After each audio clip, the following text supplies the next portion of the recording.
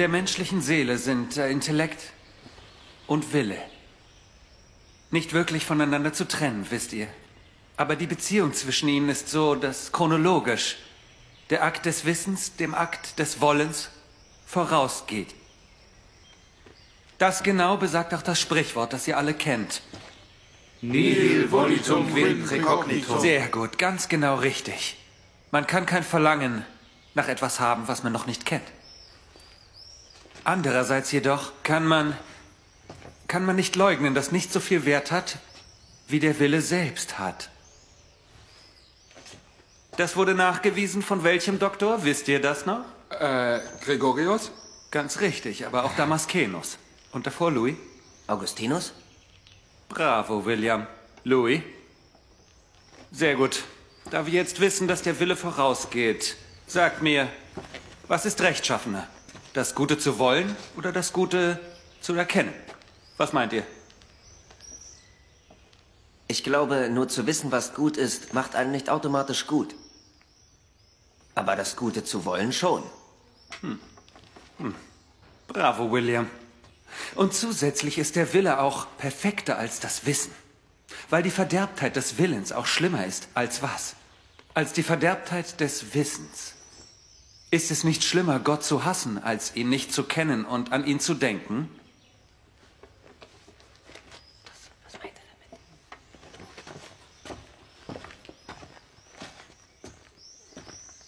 Weil wir einen Willen besitzen und die Kraft und die Fähigkeit zu entscheiden, tragen wir die Verantwortung für unsere Handlungen. Versteht ihr das? Welches ist die großzügigere Stärke? Der Wille oder der Intellekt? Der Wille. Das ist richtig. Sehr gut.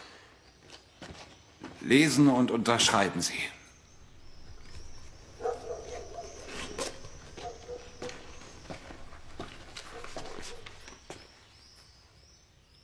Philipp IV. Seine Hoheit König von Frankreich. Beim Willen Gottes an alle Meister der Theologie, der Kunst, des Rechts und der Medizin im Königreich. Ich verkünde an alle Professoren und Studenten der fünf Universitäten des Königreichs, Verfechter von menschlichen und geistlichen Wissenschaften, den trügerischen Vorfall durch das Böse, durch böse Handlungen auf dem päpstlichen Thron befindet, Papst Bonifatius VIII.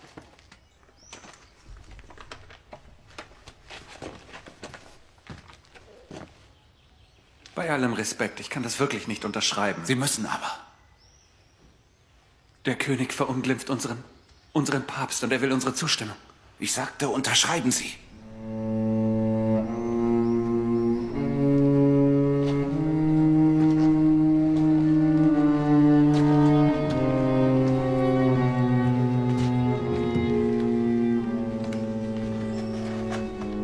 Für die erfolgreiche Einheit im Staat und um den Konflikt und den Streit zwischen den beiden beizulegen, befehle ich allen angesehenen Professoren, diese Petition aus Solidarität mit dem König von Frankreich zu unterschreiben, um gegen diese abscheulichen Taten von Bonifatius dem Achten vorzugehen.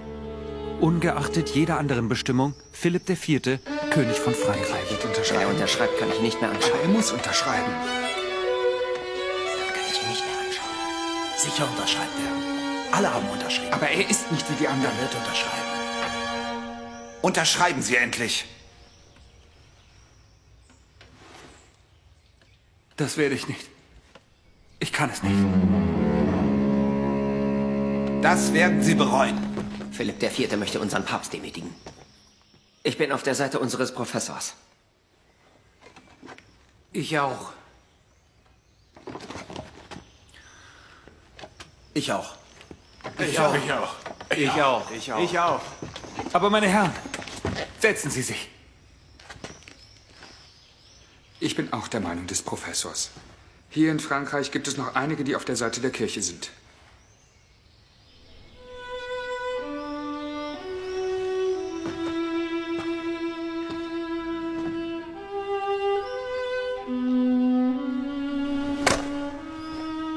Dann soll es wohl so sein.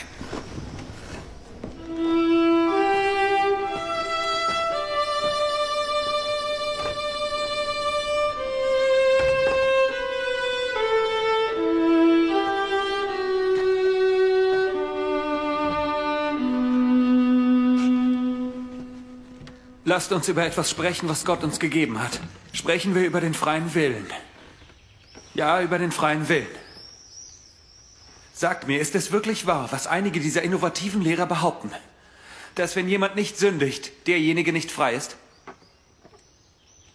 Ich weiß, es ist ein heikles Thema. Am Ende ist es dieselbe Argumentation wie die Schlange, die im Garten Eden benutzt wurde im Buch Genesis.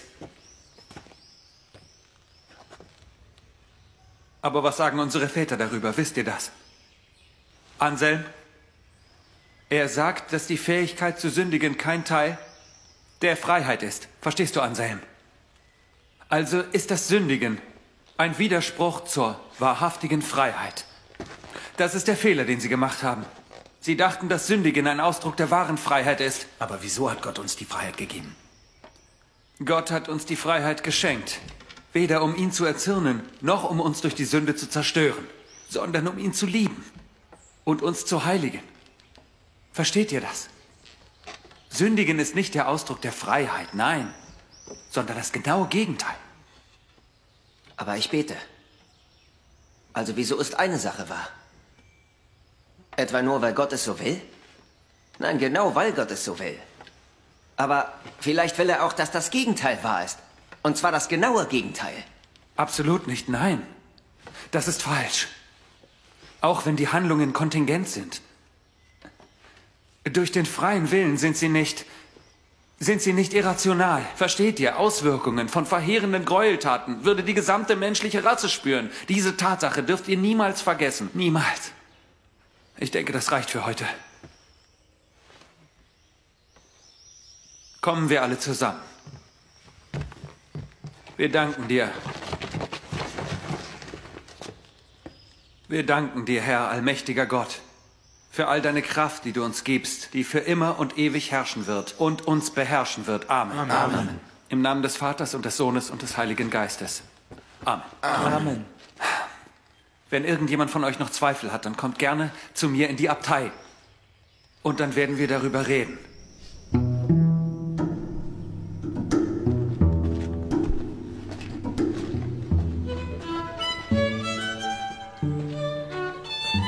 Heute bist du nicht mehr sein Lieblingsschüler. Auch wenn du ein Franziskaner wie er bist. Hör doch auf. Ich bin nur Dominikaner. Aber selbst ich hätte nicht den Mut gehabt zu sagen, was ich denke. Hättest du etwa was gesagt? Ich bin doch nicht dumm. Gut gesagt, Besserwisser. Professor Johannes ist vielleicht eine Koryphäe. Aber hinter seiner Fassade steckt ein arroganter Kerl. Alle haben den Brief unterschrieben, hätte er auch machen können. Man könnte glatt meinen, dass du neidisch bist. Wenn du das denkst, mach's gut. Hey, hey, hey, jetzt beruhigt euch mal beide. Hm. Ich schlage einen Pakt vor. Na los, erzähl uns deine wundervolle Idee. Nein, vergesst es einfach. Jetzt macht's doch nicht so spannend. Lasst uns schwören, dass wir uns trotz der verschiedenfarbigen Roben nie in den Rücken fallen. Hm? Ah, ich werde ein Priester, das geht mich nichts an. Natürlich tut es das. Du wirst immer noch Kirchenroben tragen. Na gut, in Ordnung. Wo legen wir unsere Hand drauf? Wir müssen doch keinen Eid ablegen. Ich auch. Oh. Bitte vergeben Sie mir. Es tut ihm leid. Er ist etwas achtlos. Ist nicht schlimm.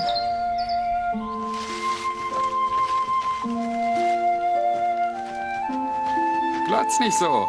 Er ist entzückt von ihr.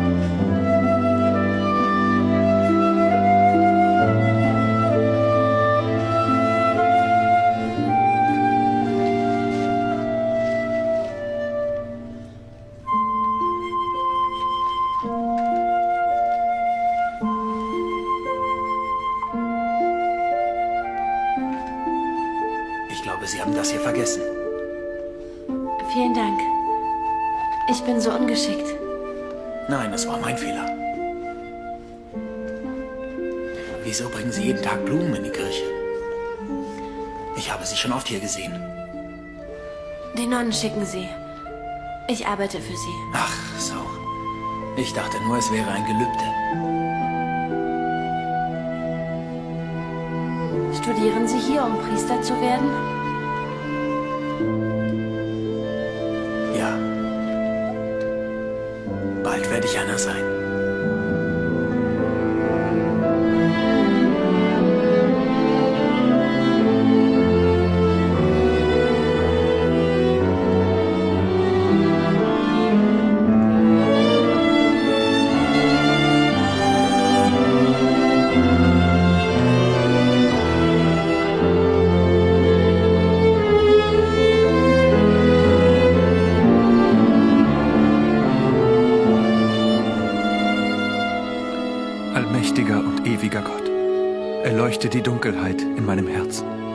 Mir ausdauerndes Vertrauen, sichere Hoffnung, perfekte Liebe und tiefgründige Demut. Gib mir, mein Herr, Weisheit und Erleuchtung, damit ich deinen wahren und heiligen Willen ausüben kann.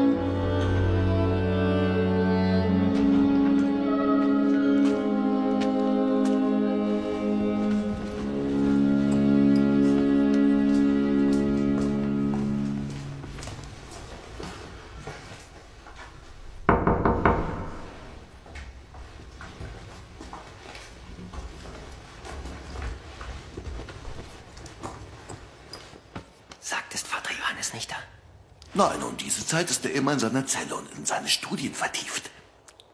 Aber wieso sind Sie hier? Wollen Sie etwa unserem Kloster beitreten? Vater Johannes ist mein Professor. Ich muss mit ihm dringend über den Unterricht sprechen. Ist er da? Na sicher ist er da, natürlich ist er das. Sicher, sicher ist er das. Aber ich sage Ihnen auch erst.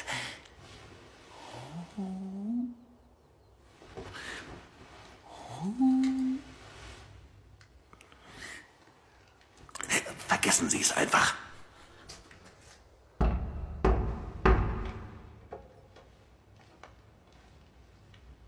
Darf ich eintreten? Bruder William, komm rein.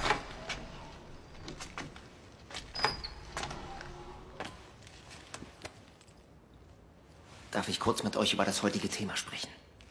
Aber sicher. Dann rede. Die Schöpfung der Erde durch Gott wurde durch den absoluten freien Willen erreicht, richtig? Korrekt. Und in dieser Schöpfung könnte Gott was gänzlich anderes gemacht haben, als, als er eigentlich vorhatte. Die Frage stelle ich mir. Ja, sicherlich. Nun gut. Aber der, der so absolut frei, omnipotent und transzendent ist, kann sich durch nichts einschränken lassen. Das haben wir doch gelernt. Gott kann nicht eingeschlossen werden durch unsere begrenzte Erkenntnisfähigkeit. Das unbegrenzte Seiende hängt also von nichts ab. Und weil er allmächtig ist, kann er tun, was er will. Und wann er es will. Wenn Gott will, dass schwarz weiß wird, dann wird schwarz-weiß. Und wenn er will, dass Wärme kalt wird, dann wird Wärme eben kalt. Und wenn Gott will, dass das Falsche wahr wird, dann wird das Falsche wahr. Gott hätte auch das Gegenteil, das vollkommene Gegenteil von dem, was er getan hatte, tun können. Und somit ist Gott etwas Unvorstellbares, das über allem und jedem steht, selbst über dem, was wir für gut und böse halten. Was denkt ihr, Vater Johannes?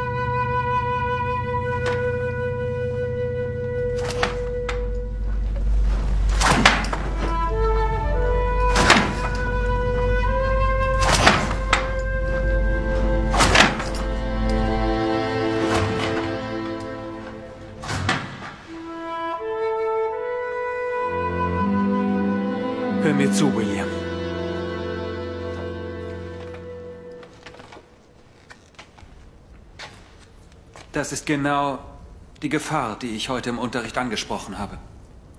Du musst genau differenzieren. Gott hätte ein anderes Universum erschaffen können. Ja. Aber nicht mit einer Ordnung, die anders wäre oder der Ordnung der heutigen Welt widersprechen würde. Jede tatsächliche mögliche Ordnung, weil sie von Gott kommt, reflektiert die Perfektion von Gott. Dass Gott in höchstem Maße frei und allmächtig ist, ist, ist wahr, aber gewissermaßen hat er eine, eine Begrenzung. Er kann uns nichts vormachen, wenn es nichts mit dem Guten oder der Wahrheit zu tun hat.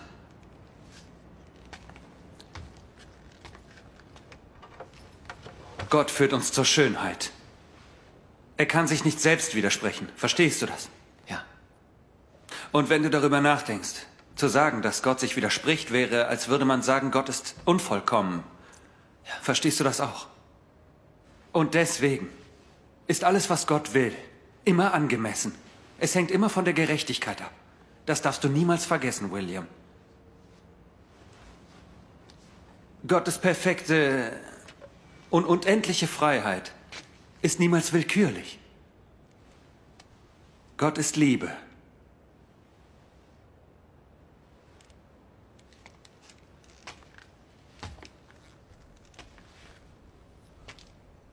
Weißt du, was mich an den Gott erinnert, von dem du sprichst? Es ist die Schlange.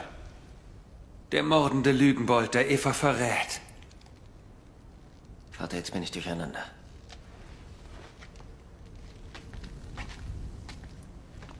Hör zu. Ich gebe dir keinen Ratschlag mehr. Du musst auf ihn hören. Höre auf ihn. Er ist die Antwort auf deine Zweifel. Durch ihn wirst du nie wieder zweifeln. Jesus hätte uns mit einem Atemzug retten können. Stattdessen sieh mal. Niemand hat ihn dazu gezwungen, so viel zu geben. Die Menschheit hätte nicht mehr Kraft gehabt als der geliebte Sohn unseres Gottvaters. Daran zweifle ich nicht. Es gibt wirklich wahrhaftig keine größere Liebe.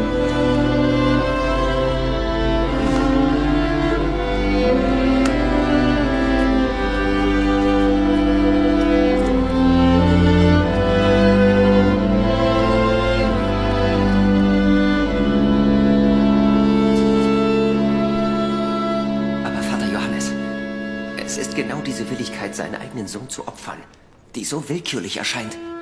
Das kann ich nicht begründen.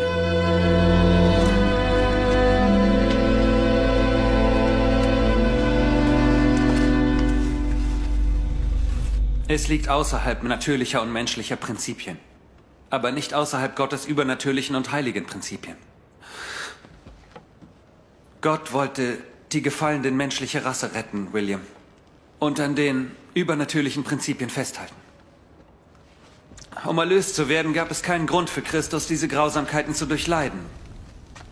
Er tat es für uns, damit wir sehen, wie er ausblutet. Auf dem Holz dieses Kreuzes. Er wollte für unsere Sünden büßen.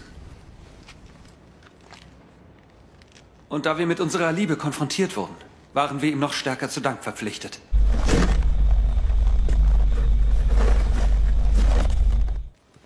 Und durch unsere Liebe, unsere liebevolle Reaktion, wurde unsere Beziehung so innig, dass wir errettet werden können und für ewig ein Teil seiner Liebe sind, Bruder William. Wieso bin ich nicht selbst darauf gekommen?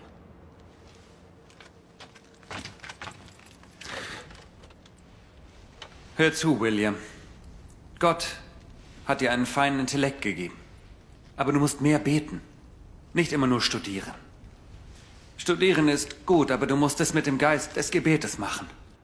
Und das dann auf dein heiliges Leben übertragen. Voller Liebe für deine anderen Brüder. Vertrau mir, William. Verbring Zeit damit, ihn zu beobachten und nachzudenken.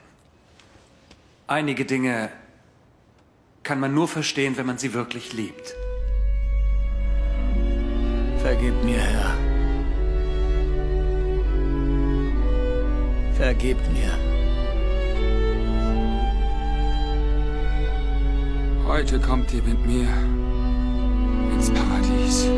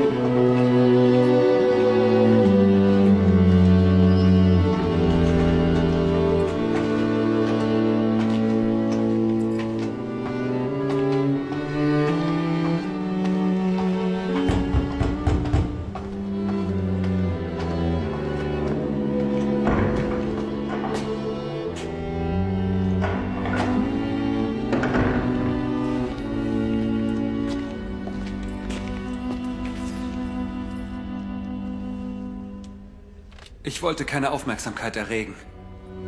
Alles hätte mit mehr Diskretion gemacht werden sollen. Durch die Einstellung der Studenten wurde der Direktor verhöhnt und die ganze Geschichte ist mittlerweile in der ganzen Universität bekannt. Ich wollte Sie beruhigen, Außerdem aber... sind sie in Gefahr, da sie den Brief des Königs gegen den Papst nicht unterzeichnet haben. Der gesamte Franziskanerorden ist in ernster Gefahr. Was den französischen König betrifft, es ist wichtig, dass sie verschwinden. Sie müssen Paris verlassen. Ein Novize wird sie begleiten. Er wird mit ihnen nach Oxford gehen. Benutzen Sie diese Reise, um seine Vokation zu testen. Ich habe Zweifel. Auf mich wirkt er etwas begriffsstutzig. Hm. Und jetzt los.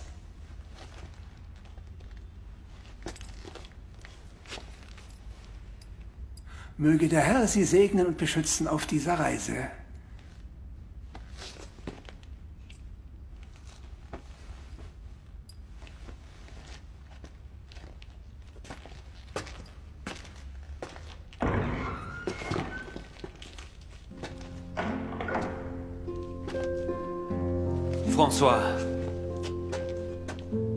Dieses Buch ist mir sehr wichtig. Es erzählt von christlichen Märtyrern. Wir sind bereit, unser Leben für Jesus zu opfern. Ich werde es lesen und verinnerlichen. Du warst tapfer, als du aufgestanden bist und mich im Klassenzimmer verteidigt hast. Aber du hättest es nicht tun sollen. William. Dieses Buch erzählt von Schönheit. Gott ist nicht nur Wahrheit und Güte. Studiere. Es wird dir dabei helfen, den Horizont deiner Betrachtung zu erweitern. Und Louis, das ist für dich. Das Ehesakrament ist wundervoll. Ein Buch über das Ehesakrament? Nun, weil wir alle Sakramente sehr gut kennen müssen.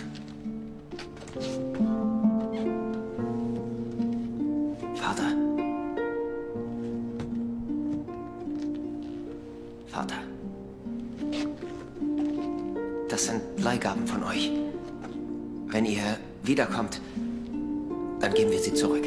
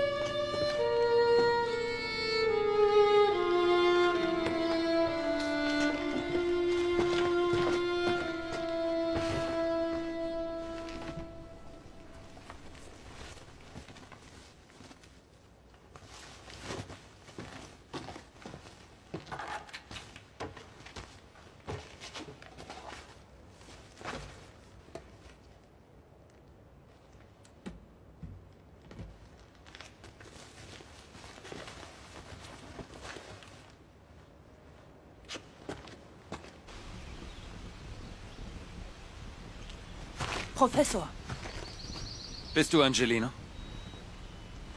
gebt mir eure Tasche. Nein, das ist nicht notwendig. Ich trage sie. Dann nehmt wenigstens diesen Wanderstock. Ja, den nehme ich. Die Reise ist lang. Gehen wir.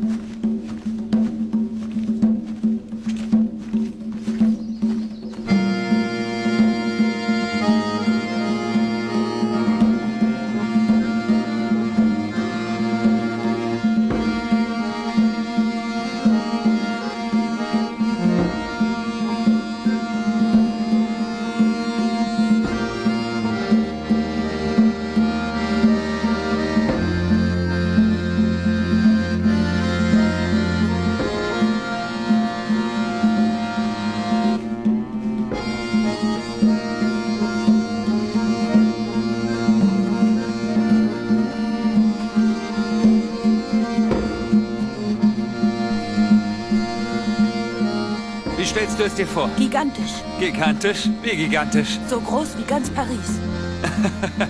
Es ist viel größer. Wie kann es größer sein? Das ist unmöglich. Wart's nur ab. Gut, wir sind da. Bist du bereit? Dann nehme ich dir jetzt die Augenbinde ab.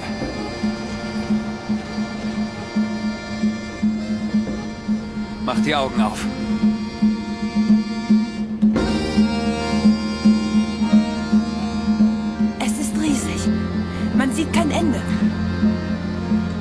Woran denkst du dabei? An unseren Herrn, der das erschaffen hat. War ich blasphemisch? Nein. Nein, nein, nein, nein, überhaupt nicht. Du hast etwas sehr Tiefgründiges gesagt. Aber wo ist England? Ich sehe es nicht. Es ist wie unser Herr. Es ist da, aber kann nicht gesehen werden. Wir müssen mit einem Schiff fahren über den Kanal, um dorthin zu gelangen. Und dort werden wir anlegen, Angelino. Dieses Schiff. Das muss groß sein, um so ein Meer zu überqueren. Ja, es gibt ganz große und kleine. Wo genau kommst du her? Von den Pyrenäen.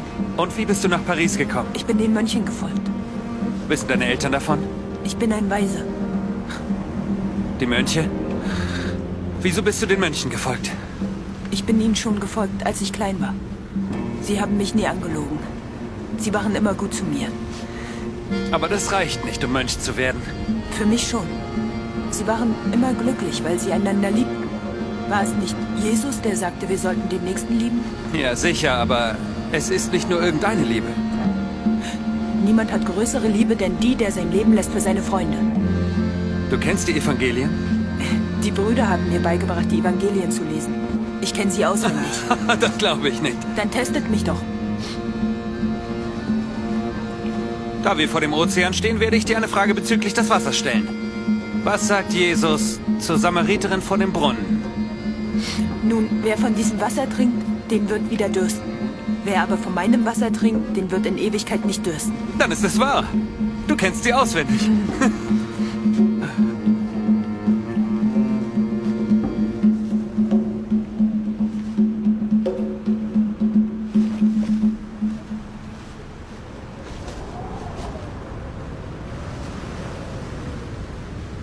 Und du, Angelino? Bist du durstig? Nein, Vater. Ich habe keinen Durst. Jesus ist immer bei mir. Das Wasser, das Jesus dir gegeben hat, ist wie eine Wasserquelle in dir, die zu einem ewigen Leben wird, Angelino. Als ich noch jung war, glaubte niemand daran, dass ich mal Mönch werde. Sie sagten, ich wäre ein Dummkopf. Ein Dummkopf? Hm. Es gibt niemanden, der so intelligent ist wie ihr. All das haben wir unserem Herrn zu verdanken, Angelino. Ich erinnere mich noch an den Tag, als ich entschied, Franziskaner zu werden. Ich war noch ein Kind. Komm, mein Kleiner.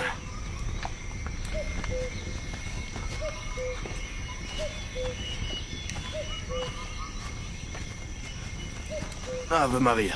Ave Maria. Onkel! Ich bin Bruder Elia. Gut, dann eben Bruder Elia.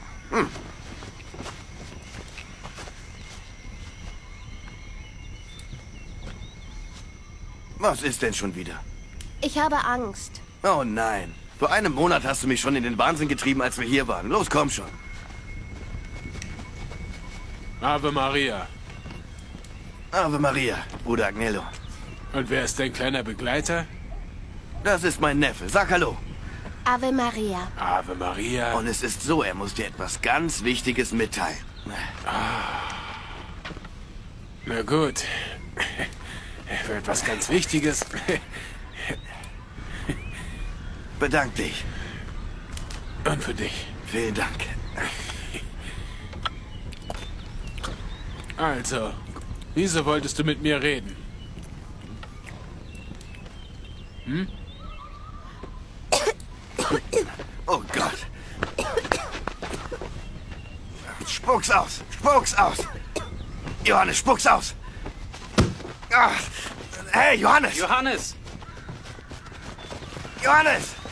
Bleib stehen!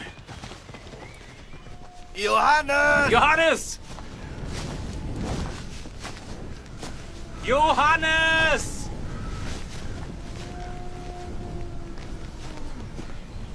Wer ist dieser Junge? Johannes ist mein Neffe. Wieso habe ich mich bloß von ihm überreden lassen? Wieso ist er weggelaufen? Weil er nur Dummheiten im Kopf hat. Ich habe ihn versucht zu überzeugen, kein Mönch zu werden. Aber er nervt mich ständig. Äh, was für hochtrabende Worte, Bruder Elia. Was für hochtrabende Worte. Ist doch nicht so schlimm. Er ist doch noch ein Kind. Du darfst dich einfach nicht so nerven lassen. Er muss sich die Vorstellung, ein Mönch zu werden, aus dem Kopf schlagen. Gott kann zu sich rufen, wen er will. Gott schaut auf das Herz. Nicht auf den Verstand. Richtig. Ihr habt vollkommen recht, Vater. Das war dumm von mir. Ganz richtig. Aber diese Dummheit beeinträchtigt deine Vokation nicht. So ist das, mein lieber Elia.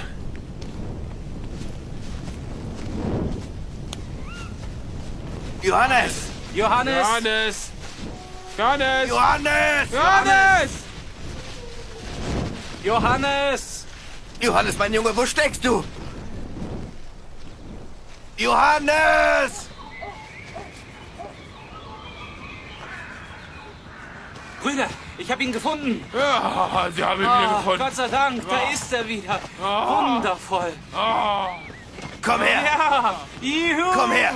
Juhu. Bruder Elia, Bruder Elia, sei nett. Wo war er? Er hat in einer Höhle geschlafen, gleich in der Nähe. Bruder Elia, komm mit mir. Bruder Elia, Bruder Elia, warte. Bin ich dein Onkel?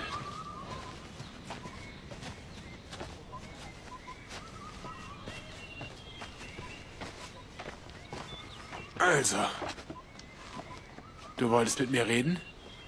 Rede. Ich möchte ein Mönch werden. Sicher. Das, was du da gerade abgezogen hast, spricht nicht wirklich für dich, hm? Hey, hey. Aber auch nicht wirklich gegen dich. Und wieso möchtest du Mönch werden? Ich weiß nicht. Wieso sollte ich ja sagen, wenn du nicht mal weißt, wieso? Ich bin dumm. Und wer hat dir das gesagt? Alle sagen mir das. Auch Bruder Elia? Nein, der nicht. Gott sei Dank. Gott sei Dank. Gott sei Dank. Ich hatte Angst, was seine Nächstenliebe betrifft. Ich möchte ein Mönch werden, weil, äh, wenn ich mir die Sterne anschaue, die grasenden Schafe wunderschön sind. Und weiter? Weil unser Herr sein Bestes gegeben hat, als er sie schuf. Und ich möchte ihm für den Rest meines Lebens danken.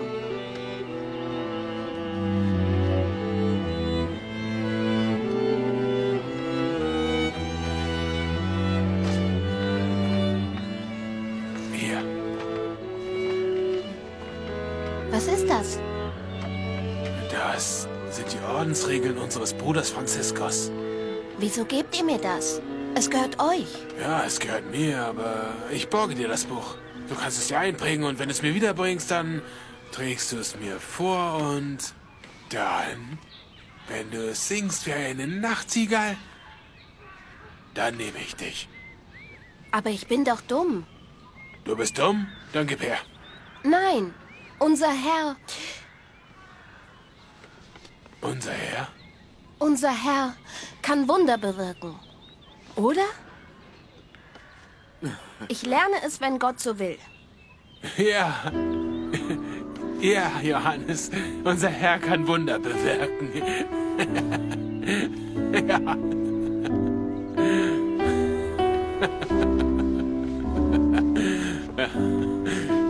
Er kann Wunder bewirken, Johannes. Er kann Wunder bewirken. Danke, Vater. Er kann Wunder bewirken. Und jetzt gibt es erstmal eine heiße Suppe für alle. Ja? Großartige Idee. Ja, jawohl. Die Brüder sollten weder ihr Haus, ihr Heim oder irgendwas anderes für sich beanspruchen. Sie sollten nach milden Gaben suchen und Gott in Armut und Bescheidenheit dienen, als Pilger und Fremde in dieser Welt. Sie sollten sich nicht schämen, da Gott sich auch arm gemacht hat für uns auf dieser Welt. Um unseres Herrn Jesus Christus willen wünsche ich, nie etwas anderes auf der Welt zu haben als meine geliebten Brüder. Hier. Die Ordensregeln? Mhm. Das sind die Regeln. Die kann ich nicht annehmen. Angelina, ich habe so lange gewartet, um eine würdige Seele wie dich zu finden, der ich das Buch gebe. Aber wieso? Es ist ein Andenken. Wir müssen uns von allem trennen, Angelino. Nimm es. Ich bitte dich. Ich werde dasselbe tun wie ihr. Ich werde es weitergeben. Kann. Kann ich eine Frage stellen? Sicher. Wart ihr wirklich dumm? ja, Und wie kommt es, dass ihr jetzt so intelligent seid? das ist ein Geheimnis, Angelino. Was ist passiert? Lasst uns eine Ave Maria aufsagen. In Ordnung? Ave Maria. Sie war es. Unsere Mutter im Himmel hat euch die Weisheit gegeben. Ave Maria. Gegrüßt seist du, Maria, voll der Gnade, der Herr ist mit dir. Du bist gebenedeit unter den Frauen und gebenedeit ist die Frucht deines Leibes, Jesus. Heilige Maria, Mutter Gottes, bitte für uns Sünder, jetzt und in all unseren Stunden unseres Todes. Amen.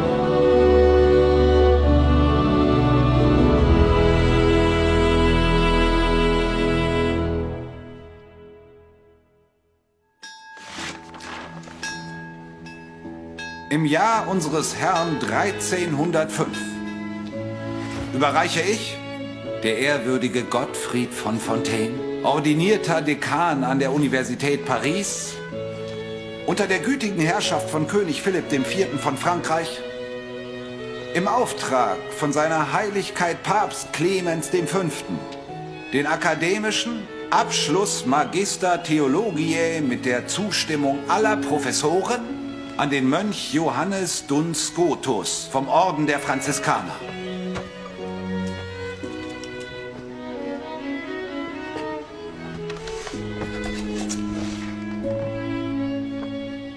Ich widme alle meine Studien der unbefleckten Empfängnis von Maria. Ich folge ihrem Beispiel und ich sage Ja zu Gott. Denn jedes Wort, das ich geschrieben habe und schreiben werde, sollen ihm Herrlichkeit bringen und auch der Kirche.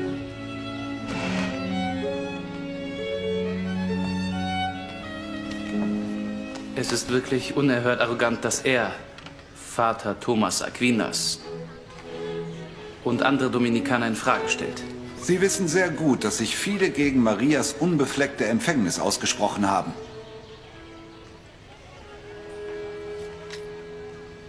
Er weiß es und hat es geschrieben. Würden Sie gern etwas ergänzen?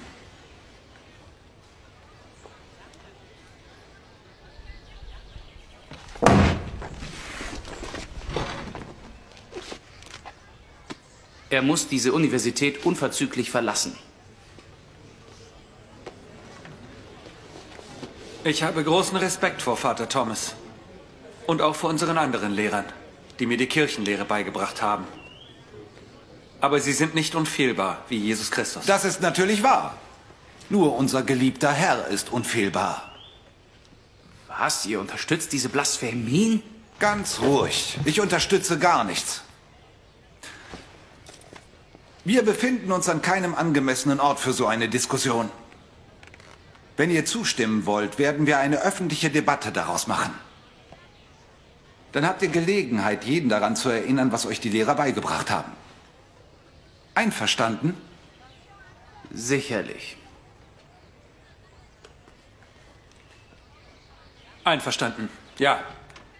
Sehr gut. Der Verlierer wird mit großer Ehrlosigkeit bestraft. Hier sind wir erstmal fertig. Gehen wir.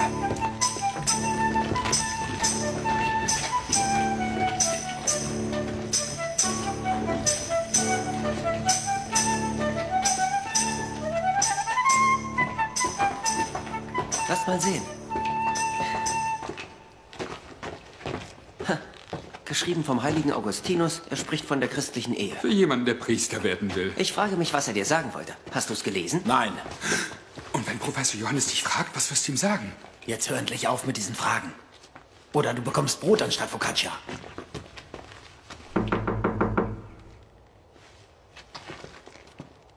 Niemand da.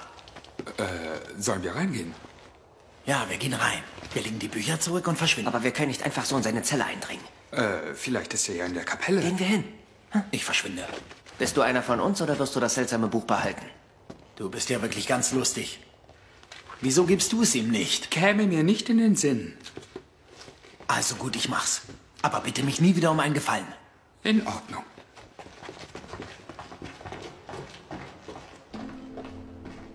Vater.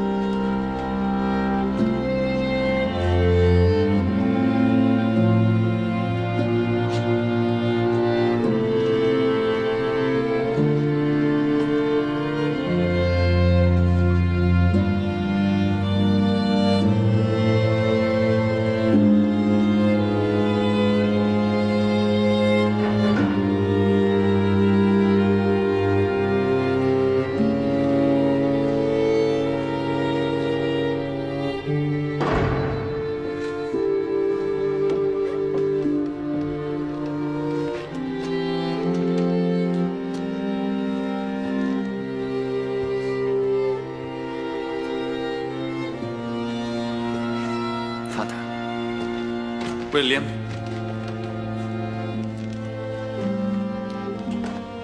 Ihr habt ja eure Bücher zurück, wie versprochen. und deine Freunde? Die sind schon gegangen. Sie waren müde. Und du? Ich habe gewartet. Das ist ehrenhaft. Dann hast du meinen Rat befolgt.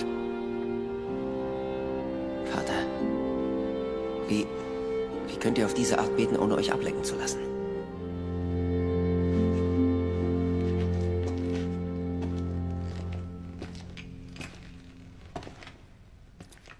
Solange es ein Tabernakel mit Jesus geben wird, werden wir nicht allein sein, William. Aber ist es nicht einfacher, Jesus in den Brüdern zu sehen? Ich verstehe das.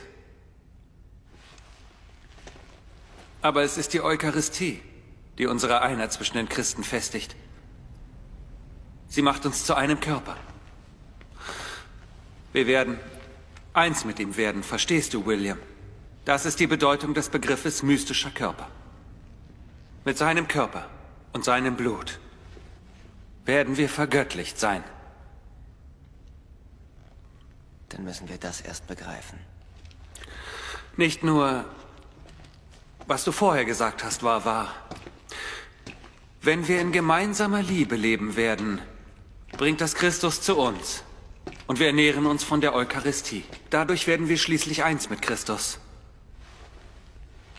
Wir empfangen Jesus, Jesus, den Sohn Gottes.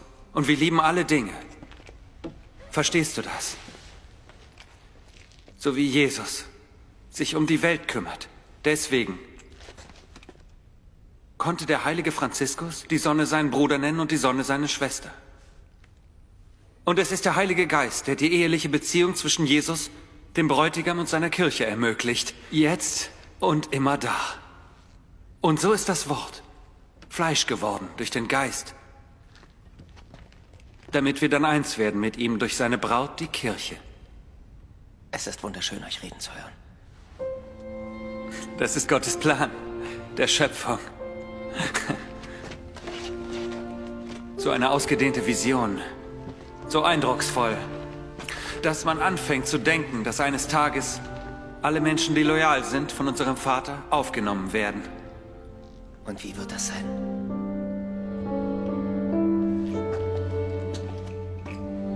Komm her, dann werde ich es dir erklären.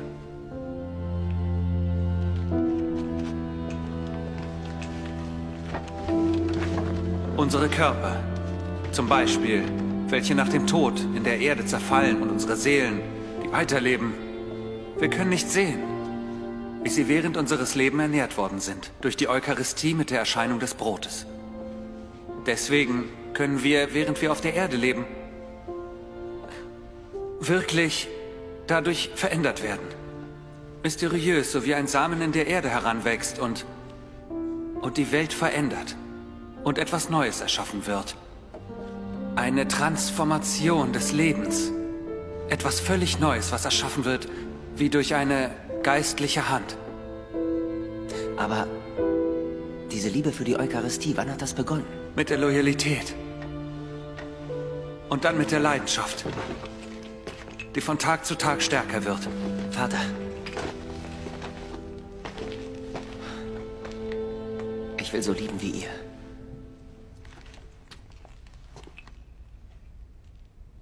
Thomas Aquinas sagte, dass dieses Sakrament uns durch Essen und Trinken geben würde.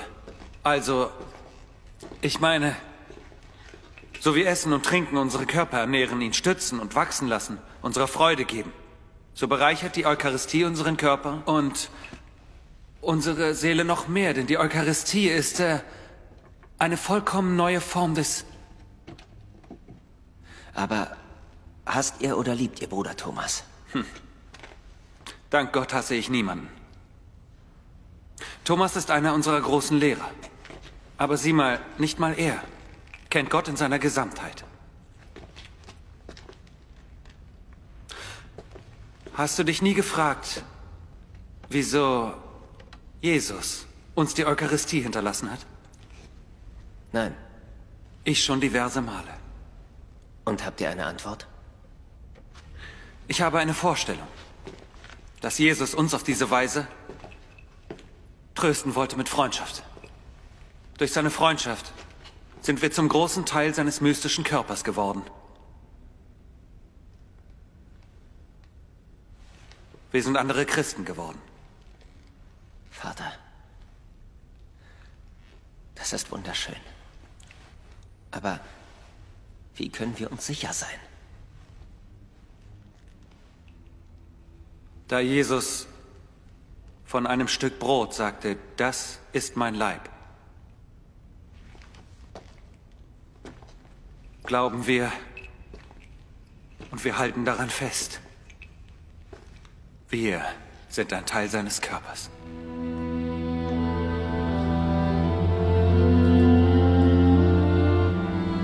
Tut das und denkt an mich.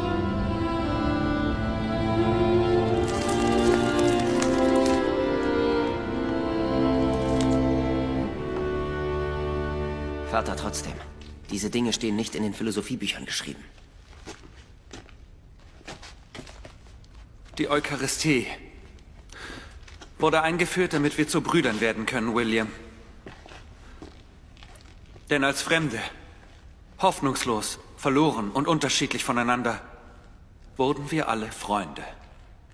Vereinigt, gleich. Nur ein Herz und eine gemeinsame Seele. Daran habe ich noch nie gedacht. Als ich Philosophie studiert habe, bin ich zur Kathedrale gegangen. Es gab eine Ecke, in der mich niemand sehen konnte.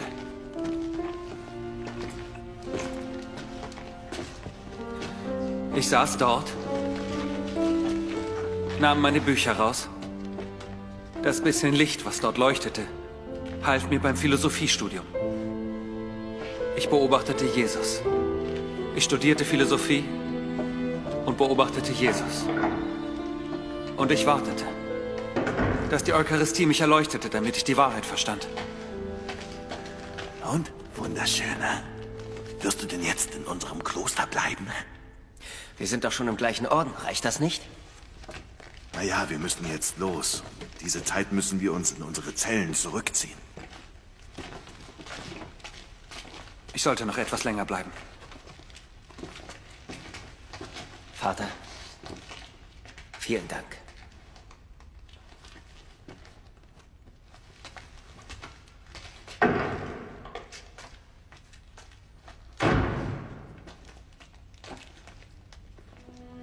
Jesus. Als ich anfing, etwas über die Eucharistie zu erzählen, hatte ich sofort das Gefühl, etwas Schlechtes zu erzählen. Ich wollte nichts Falsches über dich erzählen. Gleichzeitig hatte ich meine Leidenschaft dazu getrieben, dir eine Kathedrale zu bauen. Eine große Kathedrale.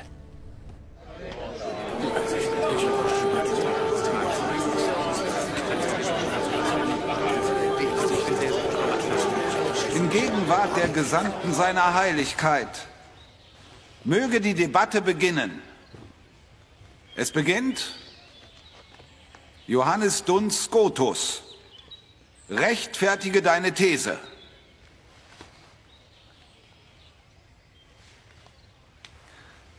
Die heilige Jungfrau Maria hat nie gesündigt, niemals seit ihrer geheiligten Empfängnis. Aber das wäre nicht so gewesen, hätte man sie nicht vor der grauenvollen Erbsünde bewahrt. Jesus ist der perfekte Mittler. Er erlöste uns auch von den Sünden Adams. Bist du nun fertig? Wieso sagt er nichts anderes? Er hat uns doch viel mehr erzählt. Die Ordensregel besagt, wir müssen uns kurz fassen.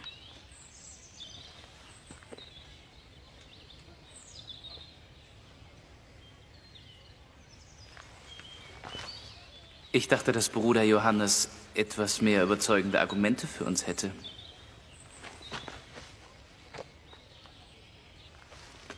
Seid ihr alle so schlechte Lehrer, ihr Franziskaner? Ich lobpreise die Ordensregeln meines Gründungsvaters Franziskus, der für seine Liebe zu Gott und der Kirche alles aufgegeben hat, um zu verarmen und, und das Evangelium unseres Herrn zu praktizieren.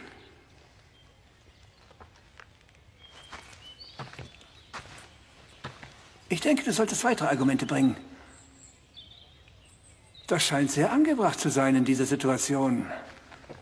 Vater, wenn ihr mir diese Anweisung gebt, werde ich sie befolgen. Lasst uns fortfahren. Wir sollten beim Thema bleiben, meine Herren. Ohne jemanden zu beleidigen. Es gibt drei Möglichkeiten, um zu beweisen, dass Maria von allem Schmutz der Erbsünde freigesprochen wird. Erstens. Da Gott allmächtig ist, kann er nicht nur Sünden heilen, er kann sie auch verhindern. Wenn er sie nur heilen könnte, zum Beispiel, weil er sie verzeiht, dann wäre es nicht der perfekte Weg. Es sollte so sein, dass wenigstens ein Kind von Adam ohne Mängel geboren werden sollte. Deswegen hat er Maria geschützt. Zweitens.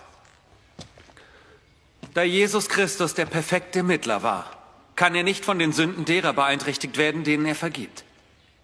Also, die Todsünde wird bestraft, indem man uns nicht zu Gott ins Paradiese lässt. Sicher, die schlimmsten Bestrafungen bekommt die Menschheit für ihre Sünden.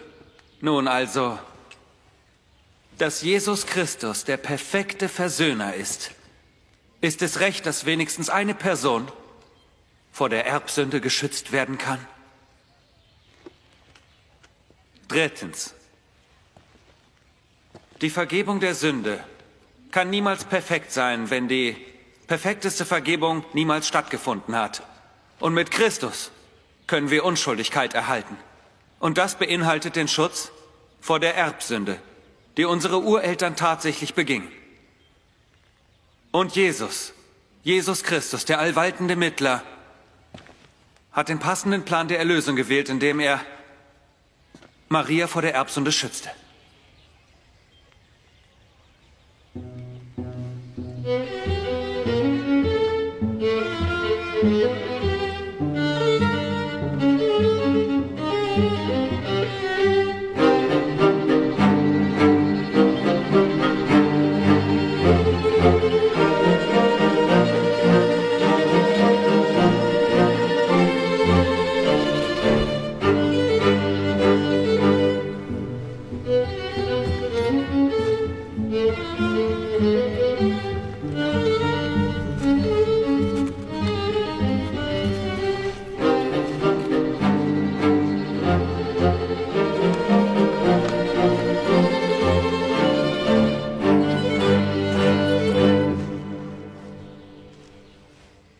Diese Aussagen, die von Johannes Scotus getroffen wurden, widersprechen sich durch eine ganz simple Feststellung.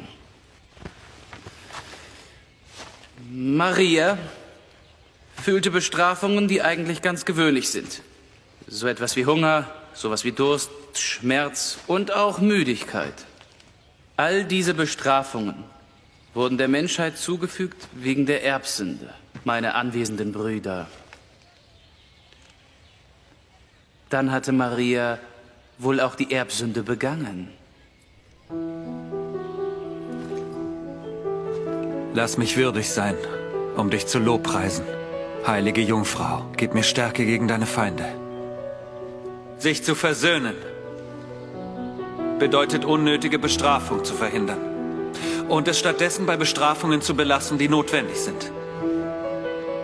Die gemeine Erbsünde wäre unzuträglich für Maria gewesen. Wohingegen diese zeitweiligen Bestrafungen hätten erlaubt sein können. Sie hätte immer noch das Recht gehabt, im Paradiese aufgenommen zu werden. Jeder Mensch, jeder Mensch sollte das Recht auf Gerechtigkeit haben. Und doch ist es nicht möglich wegen Adams Fehler. Denn seine Schuld ist auf uns zurückgefallen. Also, wenn jemand die Gunst hat, ohne Sünde geboren zu werden, gänzlich ohne Sünde, dann ist es nicht der eigene Verdienst. Es geschieht nur durch Jesus. Es wäre Erbsünde gewesen, wenn Christus es nicht durch seine Gnade verhindert hätte. Also, genauso wie Gnade nach diesem Augenblick übertragen werden kann, kann sie auch in diesem Augenblick übertragen werden.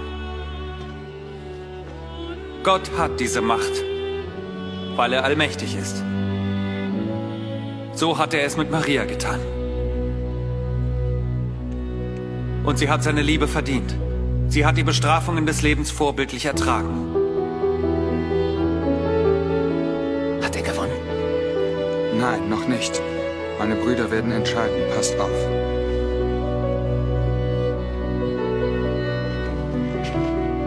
Da es schon ziemlich spät ist, werden wir kurz unterbrechen, damit jeder von uns in Ruhe speisen und beten kann.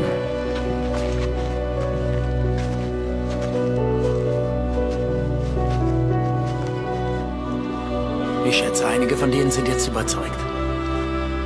So wie ich. Meinen herzlichen Glückwunsch. Johannes. Glückwunsch. Gut. Wirklich gut gemacht. Mein Glückwunsch, Bruder Johannes, das war wirklich unglaublich.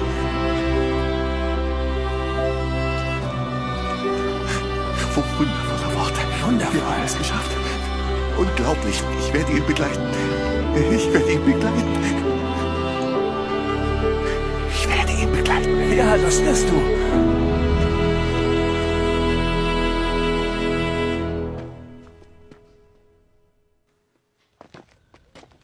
Vater. Vater, ich muss Sie um Vergebung bitten. Wieso? Weil ich oft schlecht über Sie gesprochen habe. Wann hast du denn schlecht über mich gesprochen? Während jeder Ihrer Unterrichtsstunden.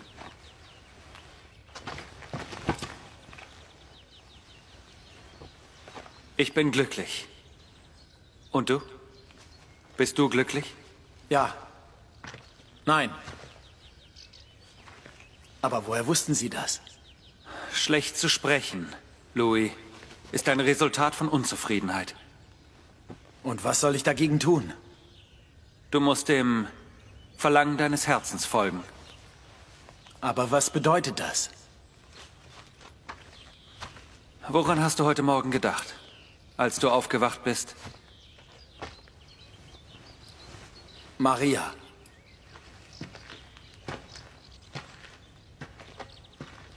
Sie ist das Mädchen, das die Blumen bringt. Hörst du? Hörst du die Glocken läuten?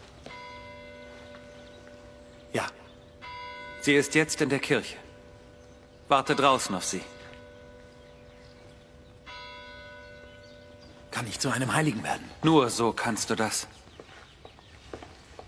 Kann ich trotzdem Ihren Unterricht besuchen, Vater? Gottes Lehre ist für jeden. Er macht keine Ausnahmen. Nun geh schon, beeil dich. Maria. Maria. Maria, ich muss mit dir sprechen. Lass mich gehen. Nur ganz kurz, bitte. Das sollten wir nicht tun. Maria. Das ist nicht angemessen. Ich habe eine Entscheidung getroffen. Ich werde heiraten. Wieso erzählst du mir das? Deinetwegen habe ich darüber nachgedacht. Ich habe nichts getan. Doch hast du, ich habe mich in dich verliebt. Das ist unmöglich. Nichts. Nichts ist unmöglich vor Gott.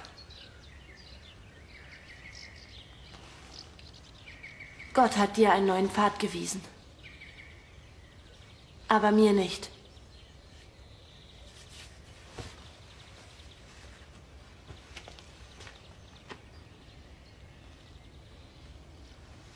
Bist du dir sicher? Ja. Ich sprach mit Vater Johannes und, und er hat mir seinen Segen gegeben.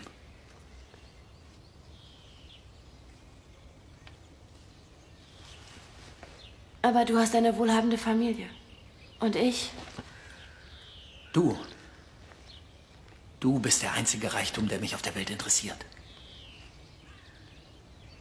Nach unserem Herrn? Sicher. Maria, ich, ich hätte gerne eine Familie, aber ich weiß nicht, wie ich dich fragen soll.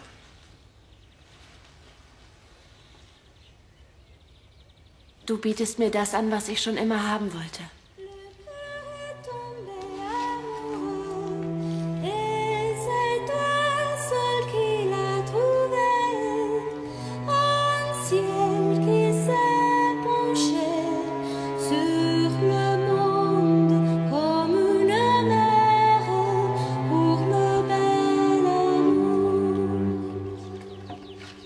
Was denkst du? Schön, oder? Ja, Schön. sehr schön. Aber wenn Sie uns hier sehen, jagen Sie uns von der Universität. Aber die werden nicht vor einer Stunde hier sein. Was genau soll denn das werden? Hä? Was soll denn das werden? Los, wir verschwindet da, sind verschwindet hier- da. Was genau macht ihr da eigentlich? Niemand ist großartiger als Johannes Scotus. Hättet ihr nicht einfach warten können, hm? Zweifelst du seinen Sieg an? Nein, absolut nicht. Ich denke nur, er wird es nicht mögen. Macht es doch einfach wieder ab. Aber wir haben Ich doch... sagte, macht es einfach wieder ab.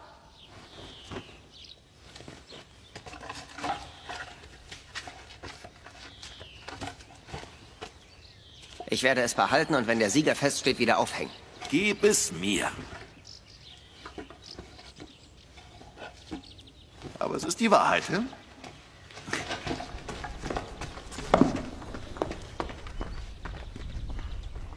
Johannes Scotus Argumente sind richtig und es gibt nichts einzuwenden. Ich gebe es ungern zu, aber es ist Den nun... Kirchenlehrern und all ihren Ansichten kann man ohnehin nicht widersprechen. Aber was könnten wir noch sagen und wer wird das alles tun? Vater Thomas und die anderen großartigen Lehrer, sie können nicht alle falsch liegen.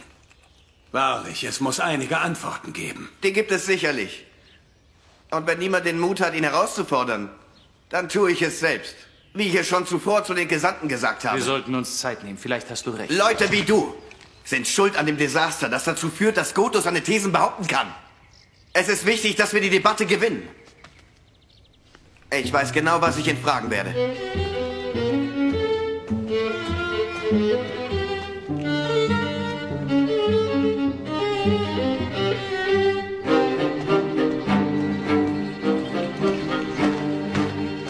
Da mein Bruder ähm, äh, etwas krank ist äh, und wir dieselben Gedanken zu dem Thema haben, hat er gefragt, ob ich für ihn einspringen kann und die Debatte weiterführen kann. Das entspricht nicht unseren Regeln der Debatte. Das stimmt. Aber man könnte eine Ausnahme machen. Es ist so, mein Bruder kann beim besten Willen nicht weitermachen. Aber wenn Professor Johannes das nicht möchte, dann... Ähm, Ich bitte um Erlaubnis, mich zurückzuziehen. Ich möchte mit meinen Brüdern reden. Wenn es für diesen Zweck ist, dann ja. Stimmen die päpstlichen Gesandten zu? Erlaubnis erteilt.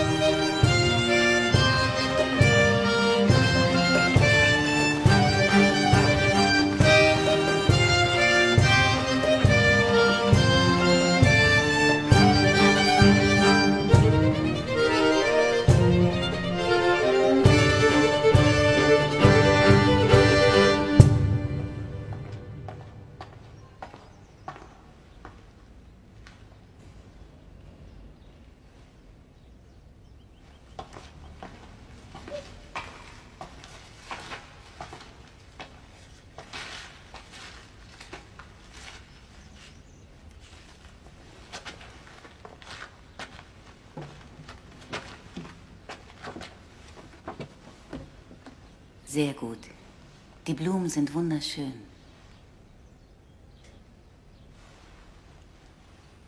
Hast du diesen Mönch gesehen? Er liebt unsere Madonna abgöttisch, mehr als alles andere in dieser Universität. Woher wisst ihr das? Es ist die Art, wie er betet.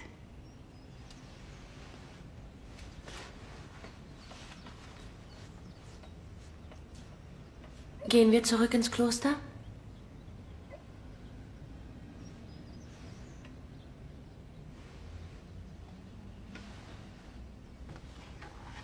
Lies noch eine Passage aus der Bibel vor. Und welche möchtet ihr hören?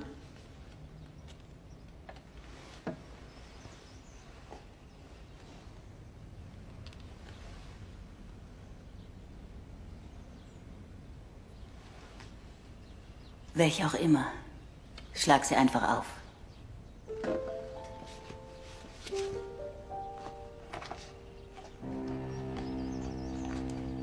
Wenn ich in den Sprachen der Menschen und Engel redete, hätte aber die Liebe nicht, wäre ich dröhnendes Erz oder eine lärmende Pauke.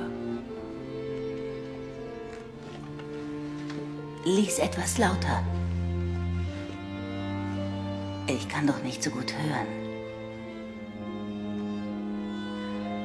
Wenn ich in den Sprachen der Menschen und Engel redete, hätte aber die Liebe nicht, wäre ich dröhnendes Erz oder eine lärmende Pauke. Und wenn ich prophetisch reden könnte und alle Geheimnisse wüsste und alle Erkenntnis hätte, wenn ich alle Glaubenskraft besäße und Berge damit versetzen könnte, Hätte aber die Liebe nicht, wäre ich nichts.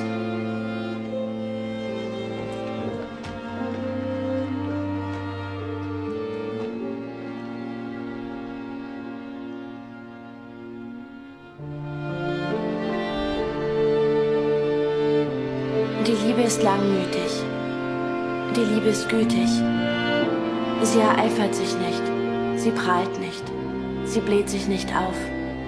Sie handelt nicht ungehörig. Sucht nicht ihren Vorteil. Lässt sich nicht zum Zorn reizen. Sie freut sich nicht über das Unrecht, sondern freut sich an der Wahrheit. Sie erträgt alles, glaubt alles, hofft alles, hält an allem stand. Die Liebe hört niemals auf. Prophetische Reden hat kein Ende. Zungenreden verstummt. Erkenntnis vergeht. Denn Stückwerk ist unser Erkennen. Wie die Prophezeiung es will.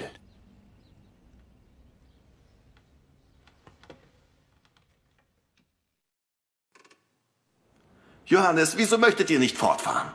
Alle hier verstehen, dass die Krankheit eine ausreichende Entschuldigung ist, um, um den ersten Sprecher durch einen besseren zu ersetzen. Ich will es nicht tun. Ihr müsst die Herausforderung annehmen. Ihr seid besser als die. Ihr werdet einfach gewinnen. Wenn ihr es fordert, mache ich weiter. Aber wenn es nach meinem Herz geht, will ich nicht weitermachen. Eine Stimme ertönt mitten in der Wüste. Ebnet in der Steppe eine Straße für unseren Gott. Jedes Tal soll erhöht werden. Und jeder Berg und jeder Hügel soll erniedrigt werden. So steht es geschrieben. Johannes. Genau so steht es in der Bibel geschrieben. Das ist wahr. Was ihr von der unbefleckten Empfängnis haltet, wird der katholischen Glaubenslehre einen großartigen Dienst erweisen. Unser Bruder hat wahrlich recht, Johannes. Ich werde dir nicht befehlen, weiterzumachen. Aber ich kenne dich ziemlich gut. Und ich befehle dir, uns den wahren Grund zu nennen, wieso du die Debatte nicht weiterführen willst. Wenn ich die Debatte mit dem zweiten Sprecher weiterführe, würde das den ersten vor der ganzen Universität demütigen. Das entspräche nicht der christlichen Liebe.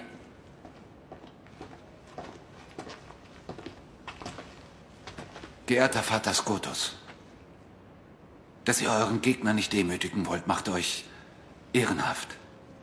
Und es ehrt das franziskanische Gewand, das ihr tragt. Aber ich lege euch nahe, weiterzumachen. Weil ich, wenn ich euch zuhöre, merke, wie vieles, das ich schon ein Leben lang studiere, in Vergessenheit geraten ist. Was ihr sagt über Maria, unsere Mutter, ist für die gesamte Kirche. Und wir müssen daran festhalten, ein vorbildlicher Sieg. Das wird jeden dazu ermutigen, die Lehren an dieser Universität zu verändern. Dem Rest von uns fehlt es an Mut. Vor, vor zwei Jahren habe ich den Brief des Königs gegen den Papst unterschrieben. Aber ihr... Vater, wenn ihr mich fragt und es für die Kirche ist, mache ich weiter.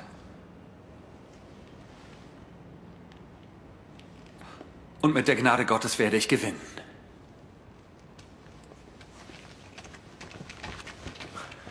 Er macht's. Er macht es. Sehr gut.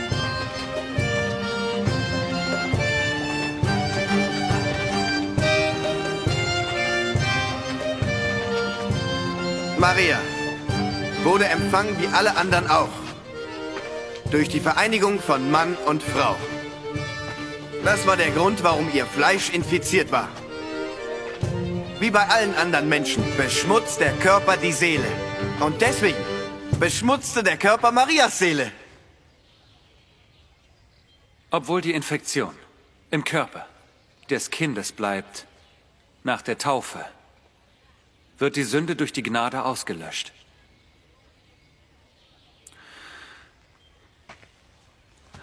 Sagt mir, kann dieser Moment der Empfängnis vor Gott fliehen? Kann ein winziger Augenblick ihm entkommen? Ihm, der ja der Herrscher der Ewigkeit ist. Jenem, der ja über alles herrscht.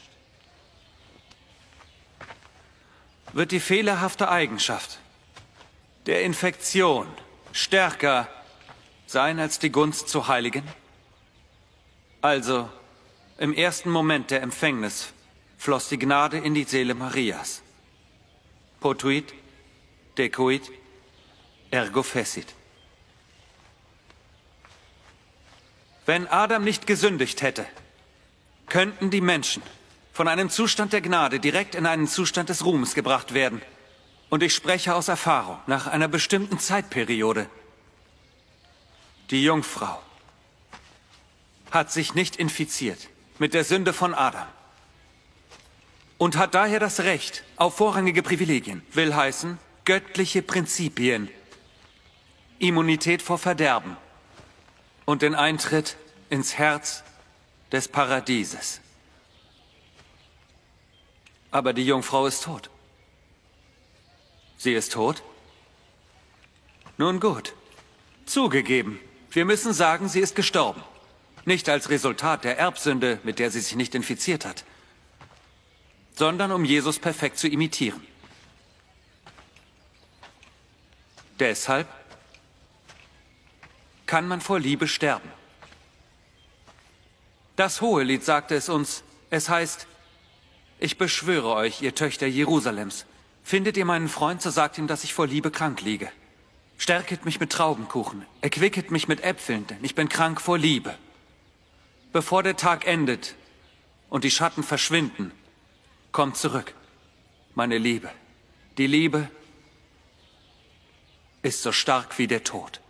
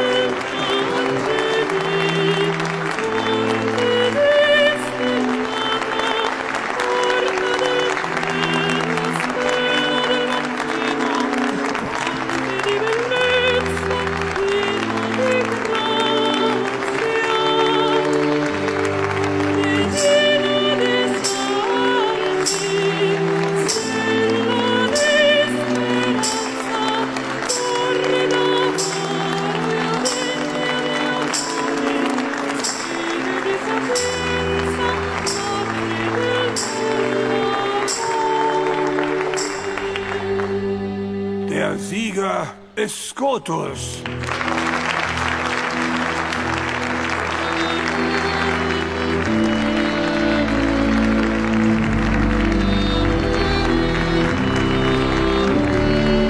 Johannes Scotus gewann die Debatte an der Universität von Paris im Jahre 1305. Drei Jahre später, im Jahre 1308, starb er in Köln. Am 8. Dezember 1854 verkündete Papst Pius IX. das Dogma von der unbefleckten Empfängnis Marias.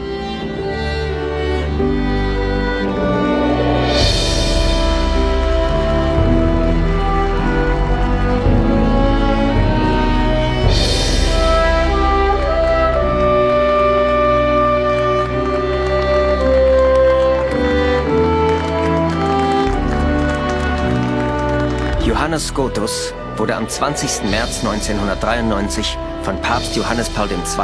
selig gesprochen.